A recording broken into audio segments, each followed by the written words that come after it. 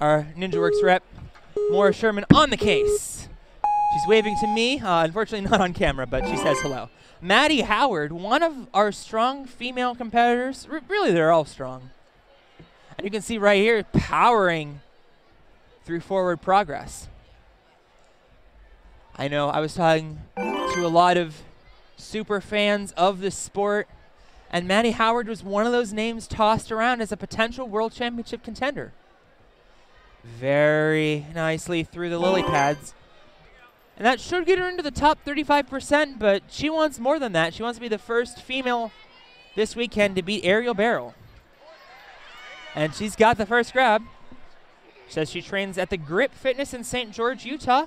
She is actually a college gymnast up in uh, Utah at Southern Utah University, and she's the first female to get that grab and in first place for the women as she gets through. But her time is not great. Climbing the rope. Has a grab, but she's down to 10 seconds. Uh, she's not going to get the. Whoa! Incredible there. I hope the camera got that flip. And you can tell she's a gymnast.